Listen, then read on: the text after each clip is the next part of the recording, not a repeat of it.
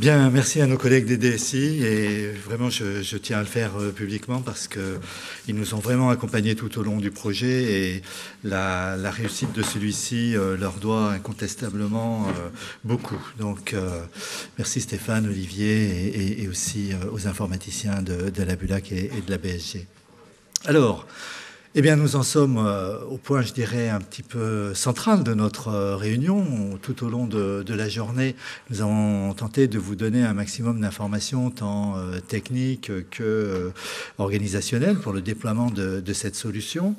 On arrive donc au moment où peut-être il faut un peu se compter et peut-être réfléchir à ce que nous pouvons faire ensemble pour faire en sorte que euh, cette euh, nouvelle plateforme, ce, logiciel puisse être déployé dans nos établissements, en tout cas dans tous ceux qui ont euh, des projets de numérisation et qui souhaitent l'utiliser. Alors peut-être avant de commencer, je vais demander à ma voisine de droite de, se présenter puisqu'elle est, c'est le troisième établissement qui est, euh, je dirais, euh, qui s'est penché sur le berceau de Numaop. Oui, bonjour. Donc, euh, je m'appelle Claire Sonfro. Je suis la chef du département de la conservation et de la bibliothèque numérique à la Bibliothèque Sainte-Geneviève. Et je représente François Michaud, le directeur, qui est souffrant, qui n'a pas pu venir aujourd'hui. Merci. Alors, première question.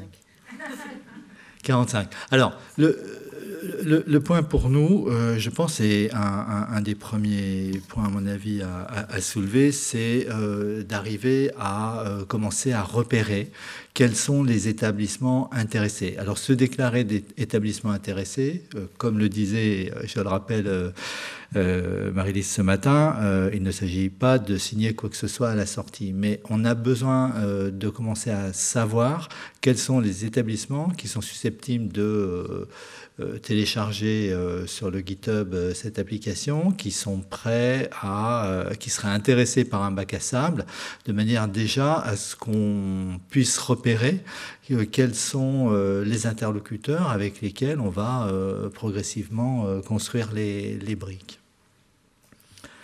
Alors, peut-être vous n'allez pas lever le doigt euh, comme ça spontanément, mais en tout cas, euh, au terme de cette euh, journée, nous vous solliciterons ou nous vous invitons à vous, manifester auprès de nous, interlocuteurs Bulac, Sainte-Geneviève ou Sciences Po, pour nous faire part de euh, vos intentions euh, dans ce domaine, ce qui n'est pas encore euh, un engagement, mais qui en tout cas nous permettra déjà de voir sur avec quels établissements on pourra poursuivre le, dialogue. Ça, c'est un premier point, puisqu'à partir de là, je dirais, nous pouvons envisager aussi d'avoir une, liste de diffusion et des outils qui nous permettent de continuer à être en relation ensemble. Ceci, euh, alors voilà, il y a plusieurs scénarios. Si je peux me permettre, il existe déjà une liste de diffusion. Euh, malheureusement, pour l'instant, euh, assez peu de, personnes s'en sont emparées. Je pense qu'il y a probablement un certain nombre de personnes dans la salle qui sont déjà inscrites. Donc n'hésitez pas à, poser vos questions les plus basiques pour commencer à créer cette communauté, cette communauté d'échange, pour qu'on se repère et qu'on commence à communiquer.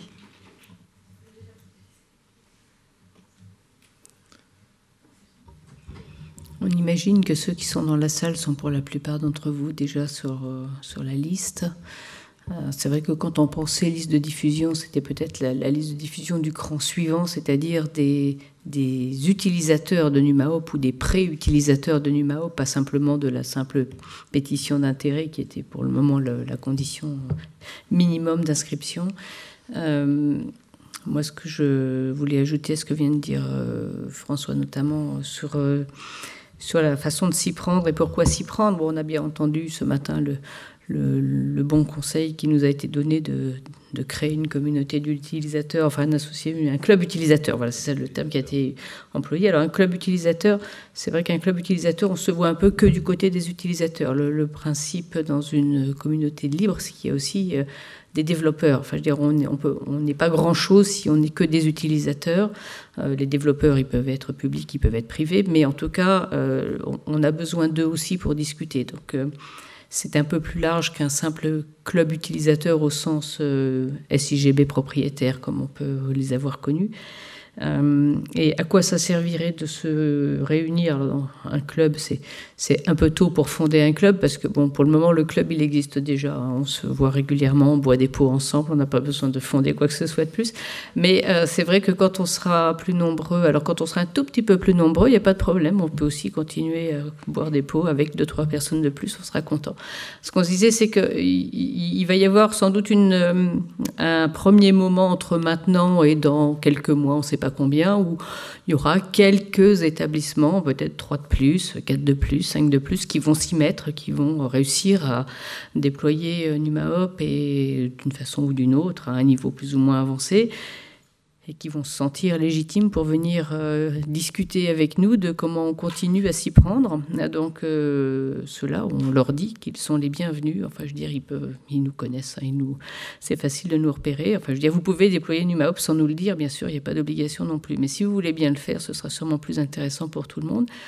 Donc, on, on s'engage, nous, à vous intégrer dans notre cercle de réflexion, alors qui n'est pas tout à fait quotidien, mais qui est régulier et à toutes les occasions où ça se présente, c'est-à-dire qu'on vous proposera de venir à des réunions, à des groupes métiers, à des groupes de ceci, à des copies, à des tas de choses, euh, aussi longtemps qu'on sera euh, un nombre raisonnable. Donc euh, je dirais que les 5, 6, 7, 8, maxi 10 premiers qui lèveront la main, ils feront partie d'un groupe informel qui fonctionne déjà et qui augmenteront petit à petit au, bout d'un certain temps, ça marchera plus comme ça parce qu'on sera trop nombreux et à ce moment-là, forcément on se reposera la question de la structuration suivante.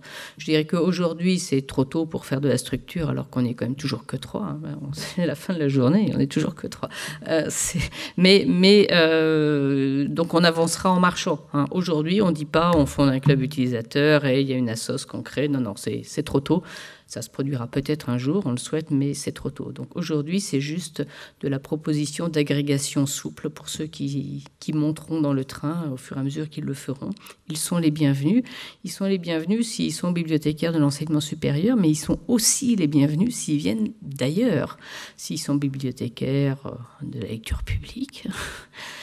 Et même s'ils ne sont pas bibliothécaires du tout, puisqu'on a bien compris qu'il y avait des archivistes qui étaient intéressés, on, prend aussi les archivistes, on prend les responsables de musées, on prend même les collègues étrangers éventuellement, puisqu'on a aussi des contacts qui commencent à s'établir avec des établissements euh, qui ont entendu parler de NUMAOP et qui ont été, euh, comme vous, fort séduits, mais qui se demandent encore. Donc euh, voilà, les, dix prochains, on ne sait pas qui c'est, mais ce n'est pas forcément que des bibliothécaires de l'enseignement supérieur. Enfin, s'il y a parmi vous qui, n'ont pas encore euh, signalé qu'ils étaient autre chose, n'hésitez pas à nous le dire, ça nous, intéresse tout à fait autant.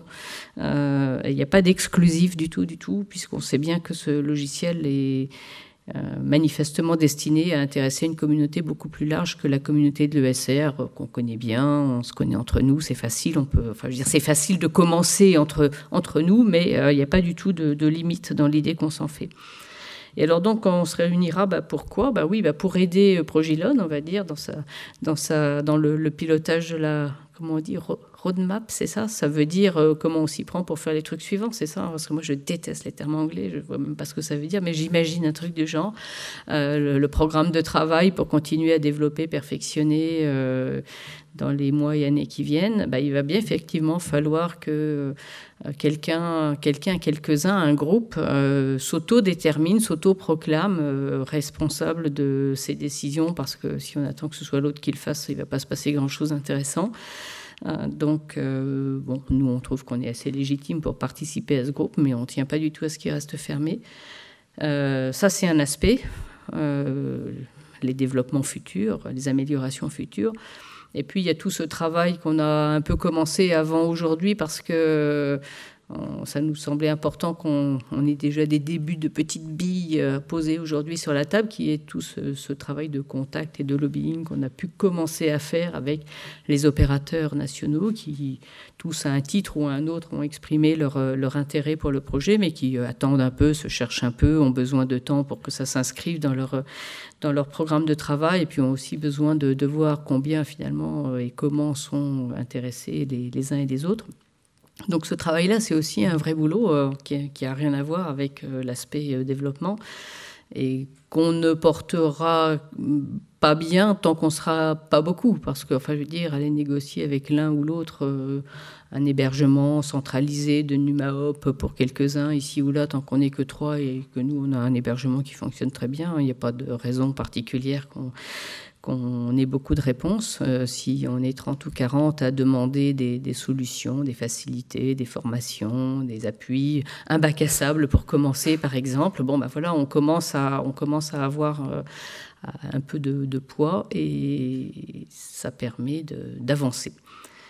Donc euh, voilà où on en est. Donc là, on, on vous attend pour que vous nous disiez maintenant un peu comment, comment vous voulez réagir, ce qui vous semblerait opportun comme, euh, comme méthode. Enfin, je veux dire, au minimum, nous, ce qu'on vous dit, c'est euh, ceux qui nous contactent pour nous dire nous, on y est parti, ça y est, euh, c'est commencé. On est en train de télécharger NumaHop et on, va s'en servir. Je dirais que c'est le ticket d'entrée. Hein. C'est quand même d'avoir.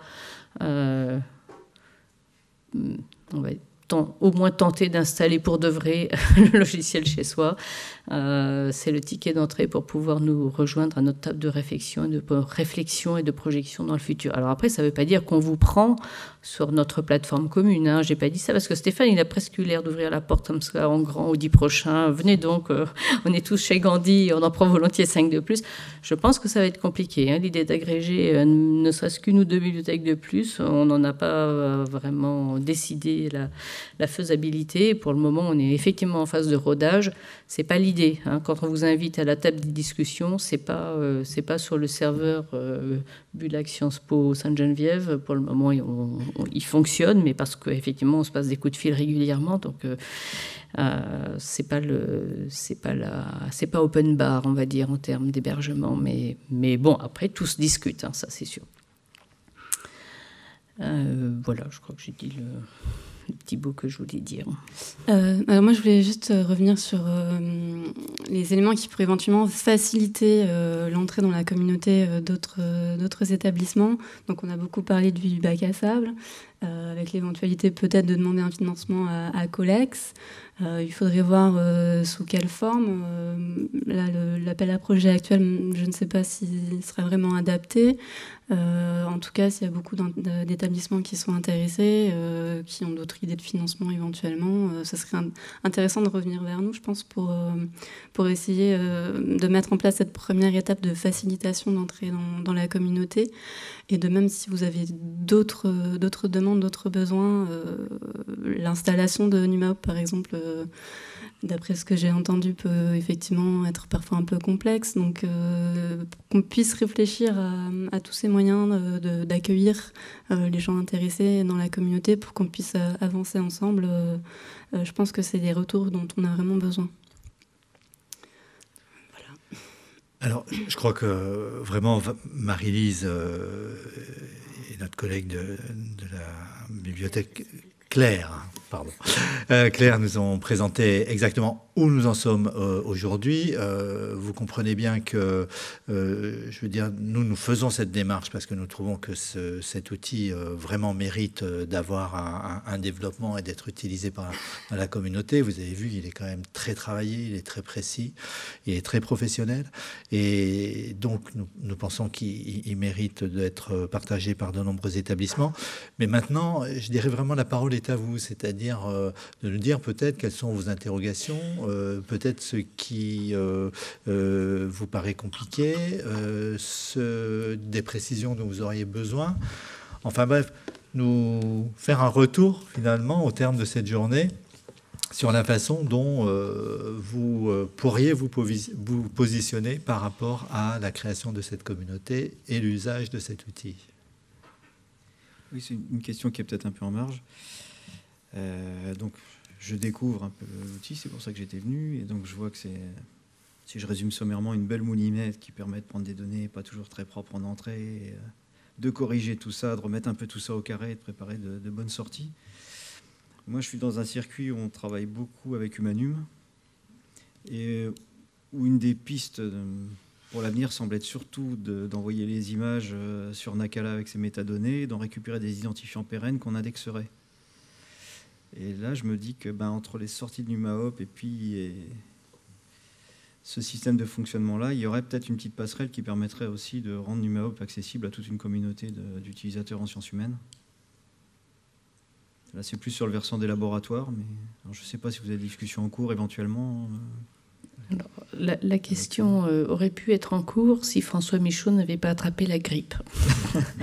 Parce qu'effectivement, c'est le, bon conseil dont nous avait gratifié David Desmodin lors de notre dernier échange avec lui, c'était de dire qu'il fallait absolument qu'on voit avec Humanum euh, de quelle manière, évidemment, vu qu'il travaille euh, sur Omega S euh, et qu'il le met largement à disposition et qu'il l'héberge et qu'il l'exploite, etc., qu'il y avait évidemment un lien tout naturel qui pouvait se faire et que ça pouvait être une piste pour l'hébergement du logiciel.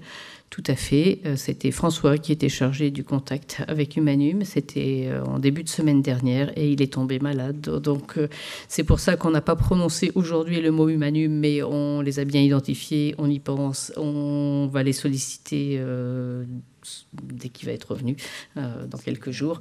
Et c'est sans doute une des, une des pistes très intéressantes qu'on va pouvoir creuser. Ça ne résoudra pas toutes les questions, mais euh, évidemment qu'on n'a pas, on n'a pas perdu ça du côté communautaire, en tout cas, euh, bien ça, sûr, ça ouvrirait aussi à toute une partie recherche qui est pas forcément, qui est plutôt en marge des bibliothèques. Tout à fait. Non, non, mais c'est parfaitement clair, mais c'est juste faute d'avoir pu en discuter directement avec eux avant qu'on mm. ne s'est pas avancé non plus euh, pour leur faire dire des choses qu'on n'avait pas encore le temps de, de voir avec eux.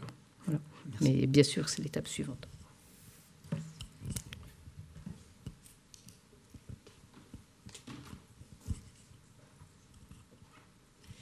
Oui, bonjour.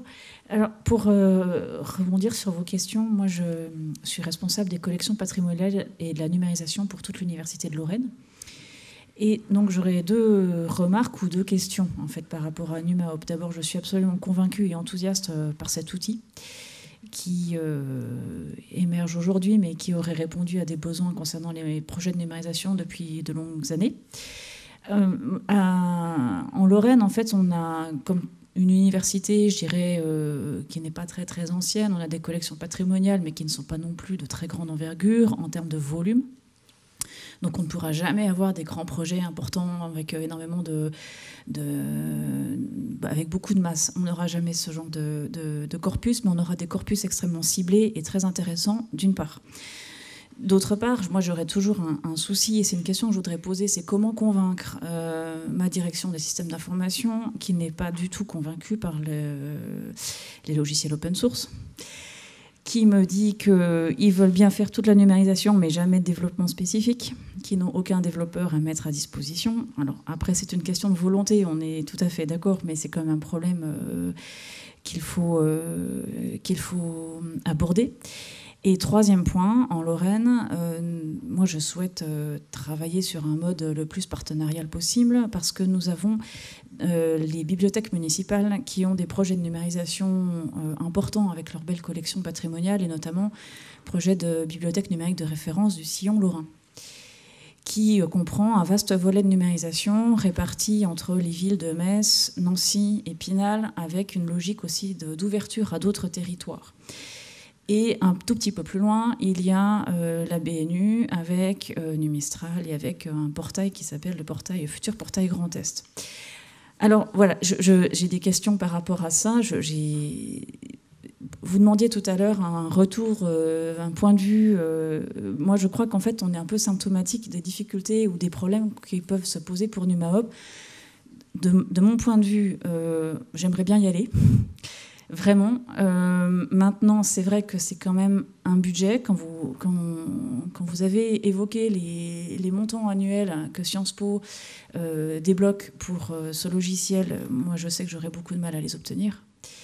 Même si j'arrive à faire passer des projets de numérisation importants avec tout, tout ce qu'on peut valoriser sur ce type de projet. Et donc c'est vraiment une question. Comment nous aider, comment m'aider à convaincre d'une part, et comment travailler sans oublier les BM. Parce que je ne peux pas travailler toute seule. Euh, l'université de Lorraine, ça aurait du sens, mais ça n'aurait pas un sens euh, à très très long terme. Il faudrait qu'on puisse travailler ensemble avec les bibliothèques municipales qui ont des fonds complémentaires des nôtres. Stéphane, tu veux bien répondre peut-être à certains points de la question? Alors, je, vais vous répondre. tout à l'heure, quand je parlais des budgets, d'abord, ils sont taillés en fonction des besoins de chacune des institutions. Hein. donc, du coup, 8 000 euros plus 6 000 euros d'hébergement. Les 8 000 euros, c'est des, des, éléments d'évolution applicative en cas de problème ou de bug ou de choses comme ça qu'il faut prendre en charge. Donc ça correspond, nous, à ce qu'on a défini comme euh, correspondant à l'envergure de notre institution. Donc peut-être vos besoins sont moins forts, moins lourds, et qu'une certaine manière, ces choses-là seraient moins lourdes, notamment en termes d'hébergement, euh, quoi qu'il en est. Ensuite, quand vous parliez de... Euh, donc du coup, ça, ça, peut s'analyser au regard de vos besoins vraiment spécifiques. Ça, c'est la première question, et on serait tout à fait disposé à discuter avec vous à ce sujet. Ensuite, la deuxième chose, c'est que ce n'est pas du tout un développement que j'ai fait en interne. moi, j'ai des développeurs, certes, mais ils n'ont aucun à travailler sur la plateforme NumaOp. Hein. Euh, il faut être très, très clair là-dessus. C'est totalement Progilone qui a fait le développement in situ, euh, qui a été financé par la ville de Paris en très grande partie. Et à partir de là, euh, la force de frappe en termes de développement a été faite. Si dans les fonctionnalités que vous avez vues ce matin, vous vous retrouvez à 100%, il n'y a aucun développement particulier à faire. Ça, c'est la première question qu'il faut que vous vous posiez par rapport aux fonctionnalités. Est-ce que ça couvre 90, 95% À voir. Et là, peut-être, c'est une discussion que vous pourriez avoir avec euh, les collègues de nos directions pour voir euh, comment vos manières de faire, vos manières de procéder, vos manières de coder ou de nommer vos projets entrent ou pas dans la plateforme. Moi, je pense que d'une certaine manière, au départ, on était quand même trois institutions avec des besoins très différents, des habitudes totalement différentes quand même. Enfin, faut être clair. Euh, le fait, le fait d'avoir bossé ensemble a pu permettre de faire émerger des, des us, des habitudes, des, des coutumes communes. Mais en même temps, je pense que vous avez aussi toujours vos manières de bosser toutes seules, différentes, qui sont respectées, et ça marche. Donc moi, ce que je vous dirais d'une certaine manière, c'est de venir voir les, les, collègues, de venir nous voir, d'essayer de, de, de, vous faire un peu une, une, impression un peu plus fine de ce que la plateforme permet. Euh, et ensuite de, nous mettre éventuellement en contact avec votre DSI pour leur expliquer maintenant c'est euh, c'est pas du tout une, horreur informatique euh, de, de développeur fou qui est, qui est apparu, c'est quand même un outil innovant qui correspond à un besoin très clair de comment, de manière efficace, numérise-t-on de bonne façon des archives, des documents, etc., dont vous avez foison et dont vous avez besoin à terme qu'ils soient valorisés d'une manière ou d'une autre auprès de vos usagers, de vos publics ou autres. Donc ça peut être une bonne manière de, renverser la dynamique en disant c'est pas qu'un coup en fait, c'est aussi la valorisation de tous vos fonds que jamais vous ne me présenterez parce qu'ils n'auront pas été numérisés de manière efficace en fait. Donc il y a aussi peut-être cet argumentaire à faire. Et en fait, vous avez vu dans les plateformes qu'on a vues, nous on les a mis en partage. Si vous avez des, acteurs locaux, etc., qui peuvent aussi euh, contribuer, vous pouvez à plusieurs construire une plateforme assez simple.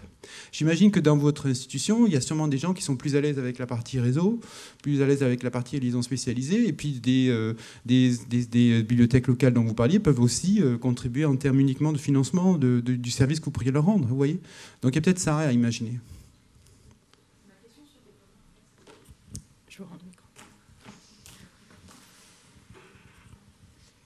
Oui, en fait, la question sur le développement, c'était aujourd'hui, l'application, elle répond à 100% des besoins. Enfin, je, clairement, même au-delà.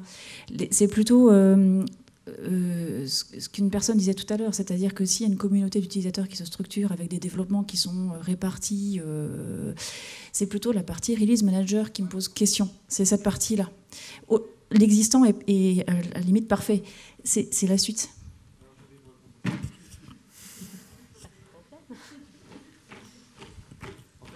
Vous posez toute question euh, classique d'une entreprise privée ou d'une communauté publique qui se dit comment on, peut, comment on met au pot commun des développements qui ont été faits à droite et à gauche, euh, tout en n'oubliant pas quand même la dimension industrielle qu'il y a derrière. Parce que c'est grosso modo, c'est pas un petit truc qu'on fait à côté. Euh, une communauté publique peut être très forte dès lors qu'elle est structurée, mais de toute façon, elle passera par un ensemble d'étapes qu'il faudra procédurer en disant OK ou pas OK, c'est pris ou c'est pas pris. Donc, euh, d'une certaine manière, ça, nous, on est à trois, donc on est en, enfin, grosso modo, la, gouvernance de ça, c'est simple à organiser. Mais dès lors qu'on arrivera dans la dimension, par exemple, que Marie-Lise mentionnait plus tard, euh, avec éventuellement d'autres institutions qui rentrera, il faudra effectivement mettre en place un processus de gouvernance classique qui devrait intégrer ces développements spécifiques. Voilà. Euh, pour le moment, je ne sais pas vous répondre, c'est pas du tout fermé. Mais à ce stade, je dirais, euh, profitez vraiment de l'outil en tant que tel, euh, utilisez-le, voyez ce qu'il en est, et ensuite on en reparlera s'il y a d'autres développements spécifiques qui vont prendre. Ce que je comprends de votre question, c'est que votre DSI doit se dire, ce service-là va imaginer des trucs auxquels il va falloir que je fasse face moi en interne. Je vous rappelle aussi d'une certaine manière qu'il y a aussi un industriel qui est en face, qui peut aussi vous questionner, euh, vous formaliser les choses, vous dire bah, ça coûtera tant, et du coup le DSI pourra faire son, hypothèse sans mettre une nonce, je dirais développeur en, interne. Il faudra juste qu'il soit capable de challenger Progilone pour, pour être sûr de bien poser les questions. C'est simplement ça qu'il faut faire. Mais ça, c'est le boulot de toute DSI d'une certaine manière. Voilà. Donc vous avez en fait plusieurs euh, types d'interlocuteurs. Hein. Vous avez euh, aujourd'hui euh, la société qui, a développé le produit qui peut vous, je dirais, discuter avec vous de ce qu'il y a à faire pour une implémentation. Il y a nos trois établissements, leurs DSI, qui peuvent aussi répondre à vos questions. Et à partir de là, et de vos besoins un peu formalisés, y compris dans le cadre des partenariats auxquels vous pensez, réfléchir et évaluer ce que représenterait la mise en œuvre de, la plateforme euh, Numa Je, pense que c'est voilà, un travail un peu d'exploration à faire. Euh, on, évoque le, point du bac à sable, peut-être Oui, juste pour compléter, parce que moi j'avais compris à l'inverse votre question. Est-ce que votre inquiétude, c'était éventuellement de devoir participer et financer des développements Oui, alors. Euh, c'est pas ça non plus le fonctionnement dans une communauté. Il n'y a pas d'obligation répartie nécessairement. Enfin, je veux dire, peut-être si on le souhaite, mais pas nécessairement.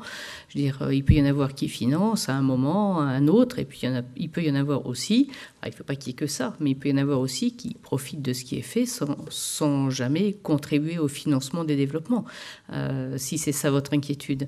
Euh, là, pour le coup, l'exemple dans la communauté COA, on peut vous en parler. C'est vrai que bon, la BULAC est un assez gros financeur parce qu'elle s'intéresse beaucoup, qu'elle a beaucoup de, a beaucoup de besoins spécifiques, donc elle contribue largement à développer le, la version communautaire, enfin en tout cas depuis maintenant euh, quelques années où elle ne travaille que dans cette perspective, mais euh, tous, les, tous les développements qu'on finance, on les finance alors soit nous-mêmes, soit en étant convenus avec d'autres établissements qui ont les mêmes intérêts de les partager, ça c'est possible, mais il n'y a aucune obligation à ce que tous les membres de la communauté, à un moment donné, euh, se fassent tomber dessus une répartition euh, équitable des coûts des développements.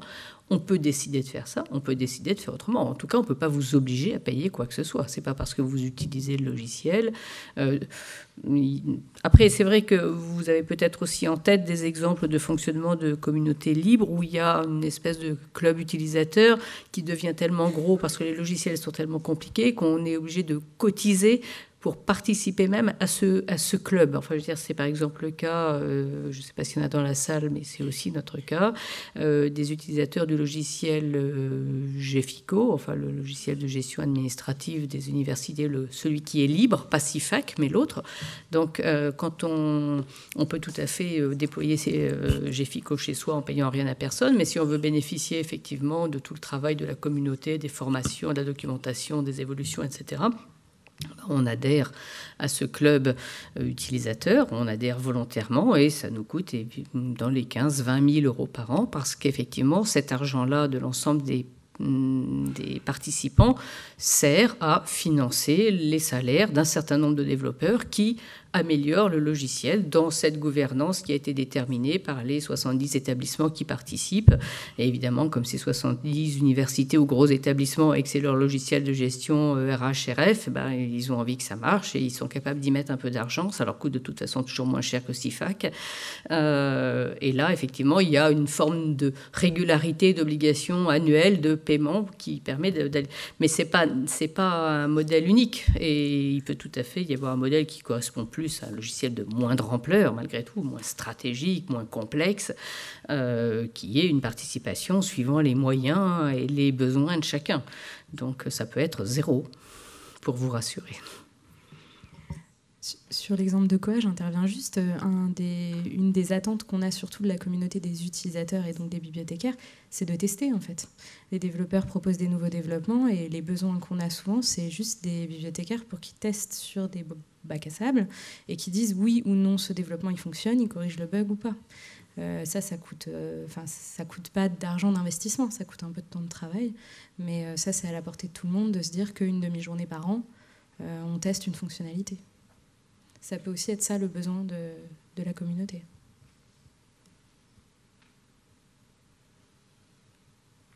Oui, une question là-haut.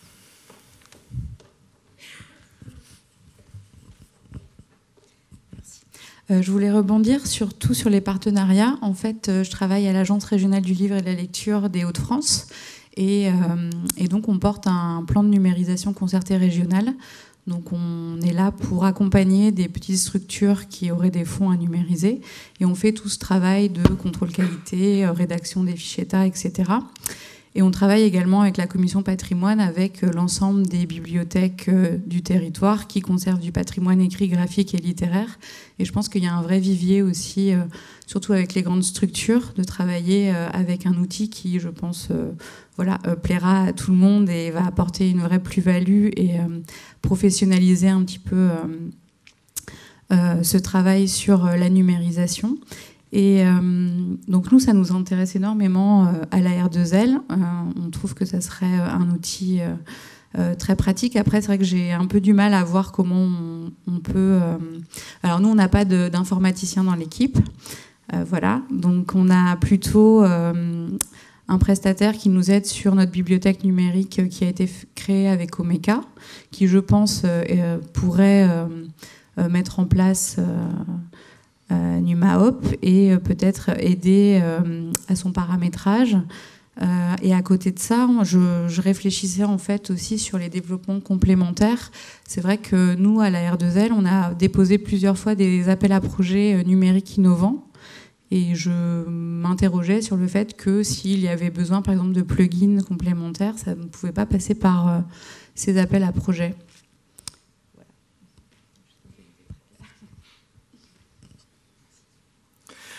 Effectivement. Euh, et, là, du coup, euh, la question justement du release manager se pose et de la validation de, ces développements et des, plugins.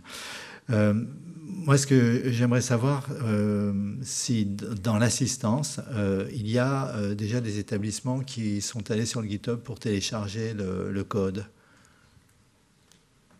Oui, hein Deux D'accord.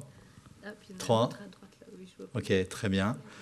Et pour revenir sur le, la question du bac à sable, est-ce que, euh, et là encore j'aimerais bien que vous leviez la main, quels seraient euh, les établissements qui seraient intéressés par euh, ce, ce, genre de dispositif? D'accord, oui, merci. Vous êtes assez nombreux, ce qui veut dire que ça peut être véritablement un, outil utile pour développer notre communauté. Parce que je, pense que par rapport à ces questions de, mise en place, ces questions de, financement, euh, ce qu'il faut voir, c'est qu'il euh, y a des opérateurs, il y a, des programmes, je pense au, au GIS Collex Percé, qui peuvent prendre en considération un certain nombre de demandes à condition et, sous réserve qu'il y ait un, certain nombre d'établissements qui se déclarent euh, intéressés. Donc là, je vois que sur le bac à sable, euh, finalement, on serait euh, grosso modo une petite dizaine, douzaine d'établissements intéressés. Donc ça peut euh, nous aider à faire un, monter un dossier euh, auprès de Colex parce que les appels à projets vont être euh, relancés. Et je pense qu'il y a un certain nombre de choses qui vont s'ouvrir au niveau de Colex puisque on a fait un peu un bilan déjà des, des premiers appels à projets. Et l'idée maintenant est de d'essayer de, trouver des projets qui soient plus moins réservés à des établissements particuliers mais aussi un peu plus fédérateurs et un peu plus collectifs et je pense que vraiment euh, l'UMAOP entre pleinement dans, ce champ. Donc on, retient l'idée, on va travailler un peu sur, cette, euh, sur ce dossier du, bac à sable. Euh, par ailleurs, ce que je pense qu'il faudrait que nous fassions, c'est qu'on on, échange en amont, sûrement, sur, avec les établissements intéressés sur la, conception de ce dossier.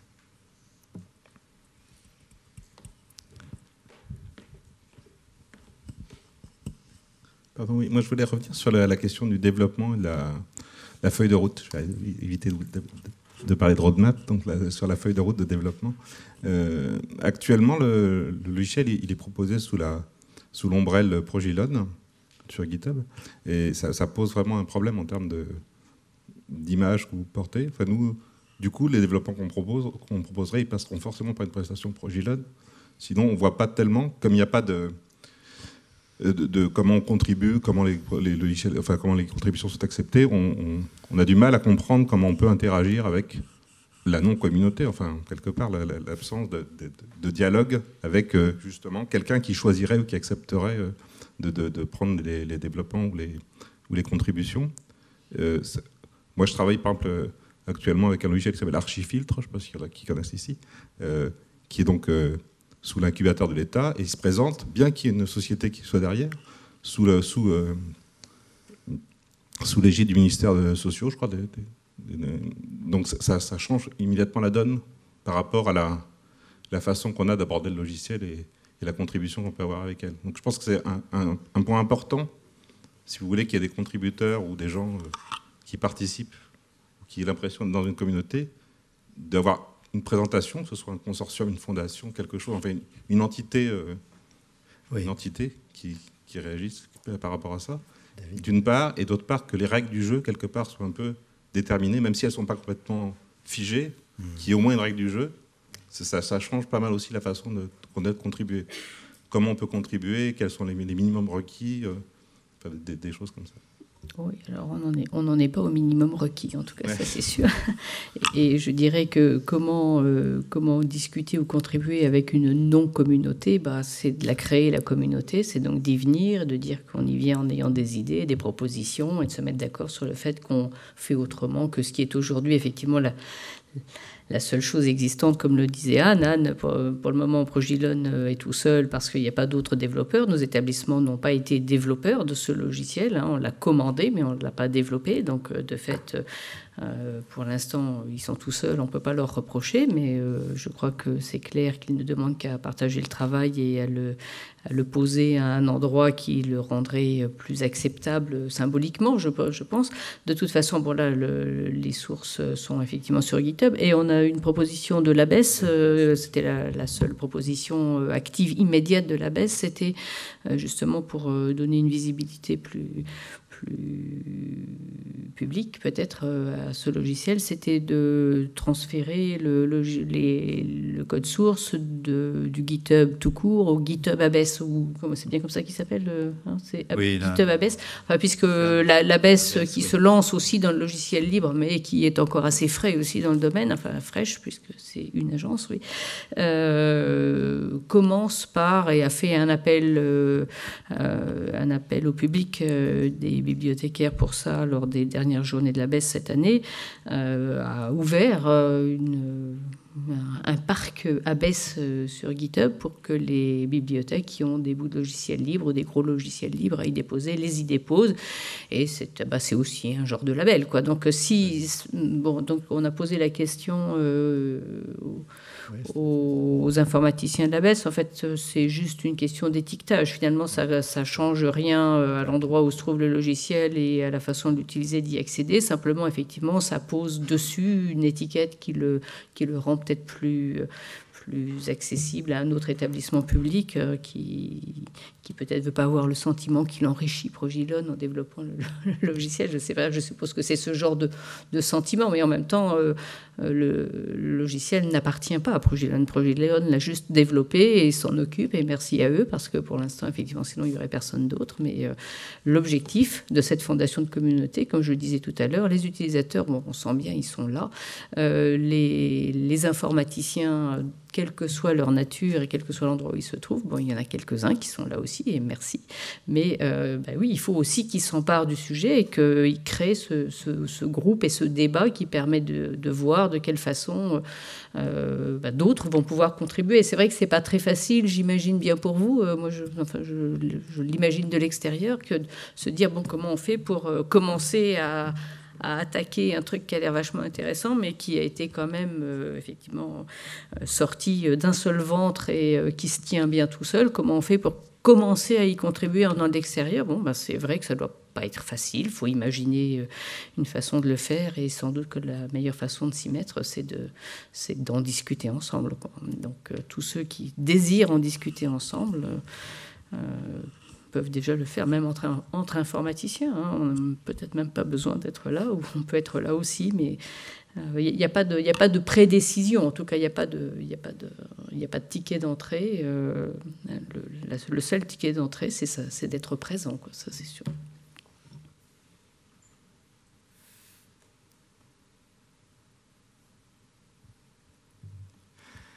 Est-ce que vous voyez d'autres éléments qui pourraient faciliter euh, l'expérimentation, qui pourraient donner l'envie de, tester?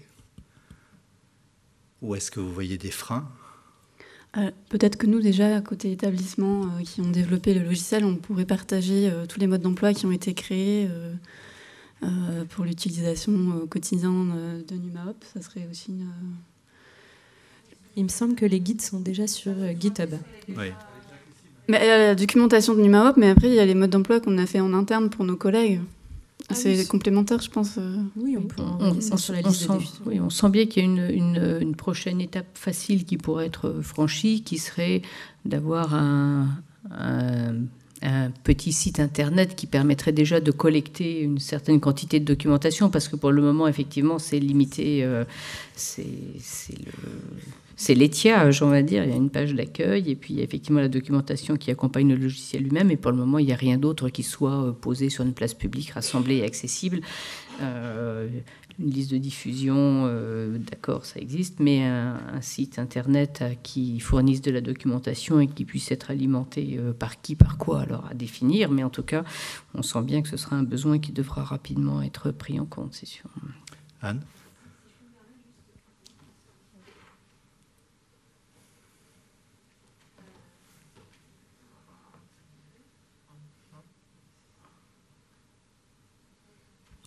Oui, ah, voilà.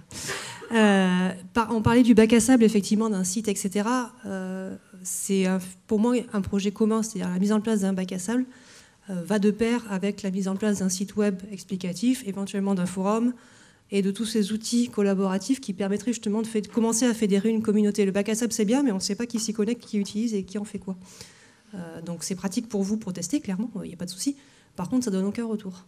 Donc avoir à côté du bac à sable un outil de retour euh, de forum pour poser des questions. Alors, avec le forum, ça implique évidemment une communauté de gens qui gèrent le forum. Euh, voilà. Euh, de, je sais pas, de, voilà, de demandes, de autres, mais qui, vont de pair avec ce bac à sable, c'est quelque chose à, mettre vraiment ensemble parce qu'un bac à sable tout seul, ça sera pas suffisant, je pense, clairement. Et puis, effectivement, toutes les documentations. Donc, vous avez sur GitHub la documentation de l'outil, quelque chose assez. un peu brut de fonderie. Hein. mais oui, si vous avez les documentations que vous avez créées vous, pour vos besoins à partager, euh, on peut les mettre nous sur GitHub si vous les faites passer, comme ça elles seront à disposition, ou dans ce nouveau site web à créer, avoir une partie effectivement de documentation et de mise à disposition d'informations, bien évidemment.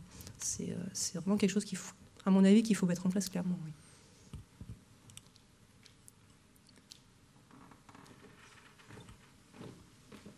Merci. Est-ce qu'on peut aller plus loin aujourd'hui ou est-ce que nous explorons déjà ces pistes, site web, euh, bac à sable et euh, euh, je dirais l'engagement à rester en, contact entre établissements qui ont développé déjà la, solution comme nous, ou qui commencent à, l'explorer et, à la tester chez eux.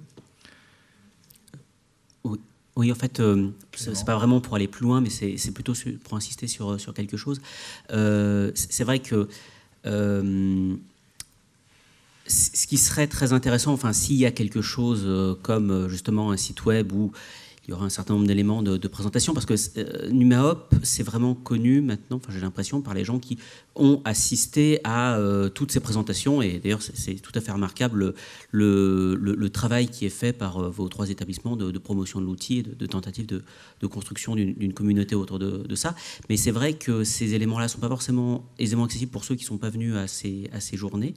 et par ailleurs, nous, ce qui nous intéresserait en tant qu'établissement intéressé, justement, c'est de voir comment d'autres établissements qui ne sont pas euh, les trois établissements originels tentent de se lancer.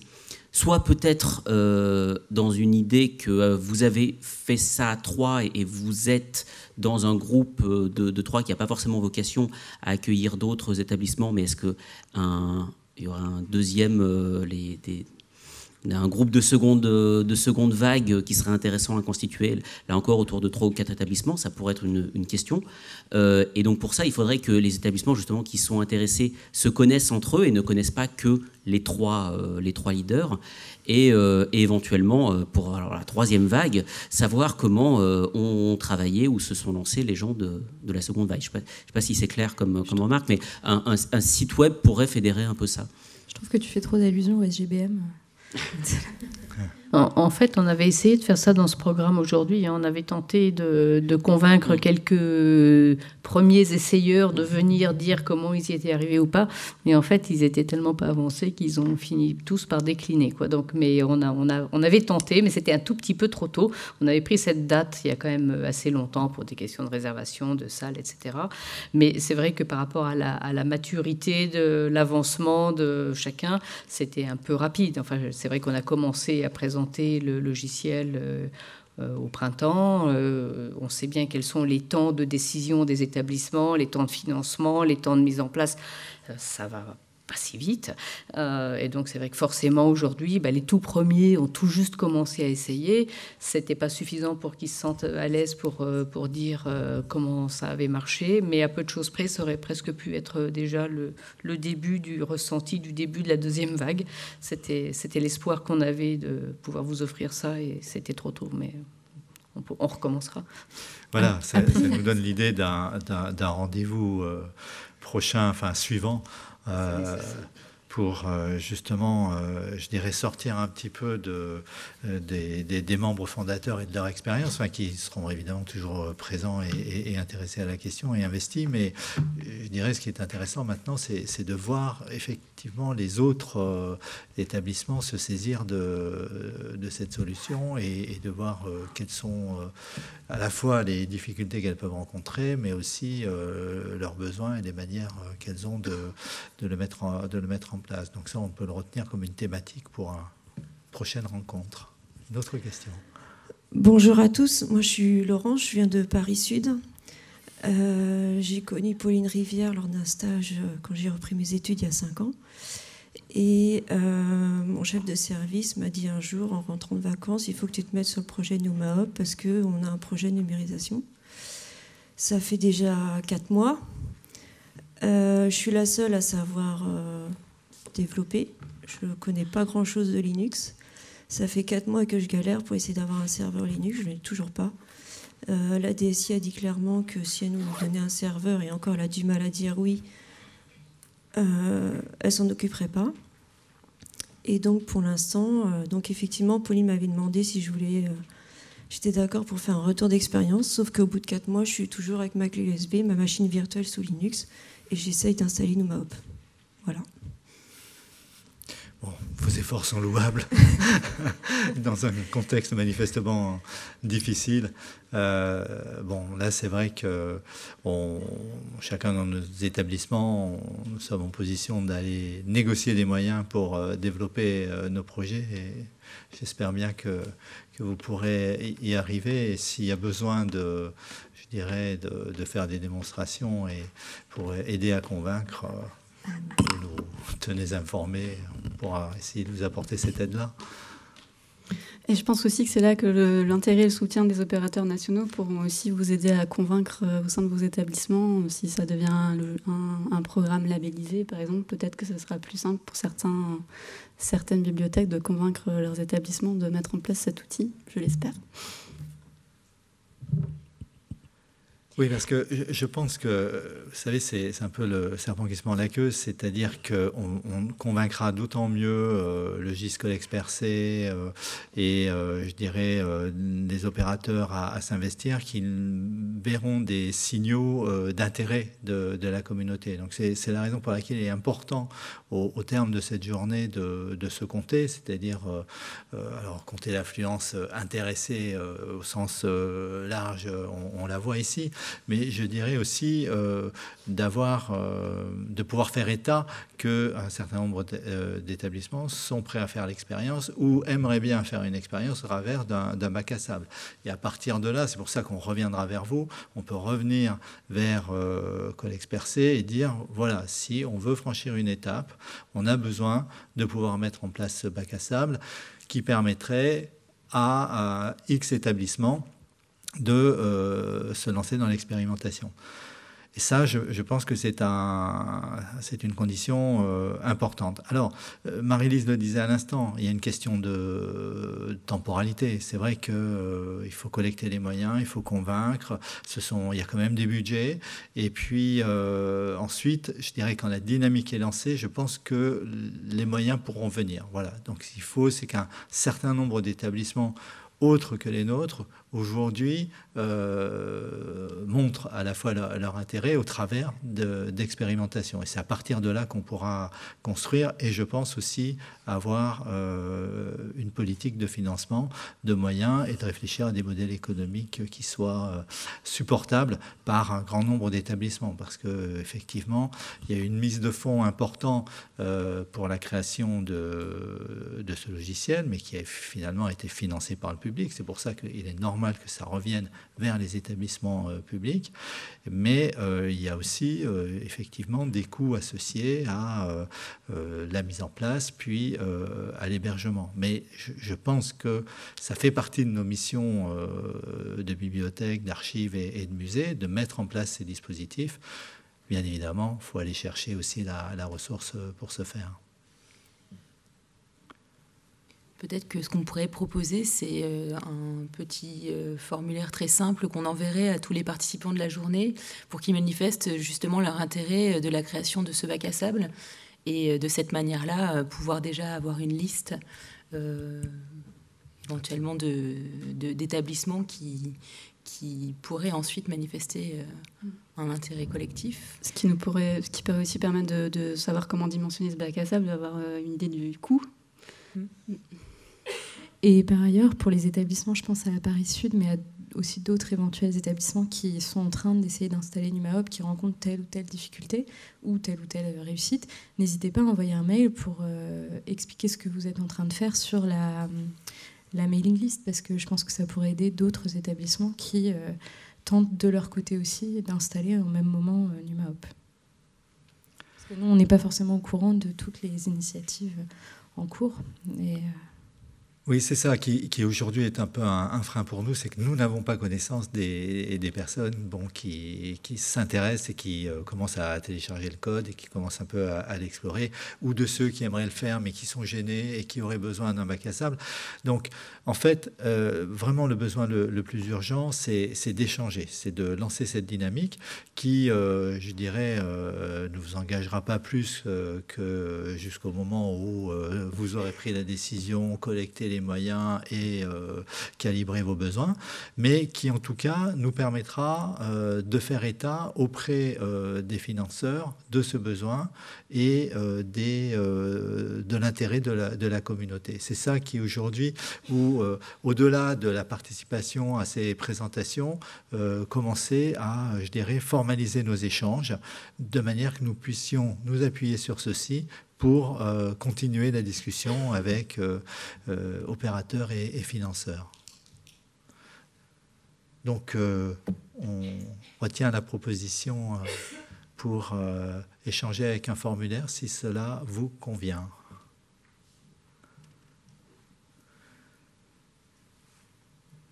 Peut-on dire plus? Non, peut-être que la mission de la journée est, accomplie. Eh bien, écoutez, merci à, toutes et tous pour votre participation et donc euh, restons en contact. À bientôt. Merci beaucoup. Au.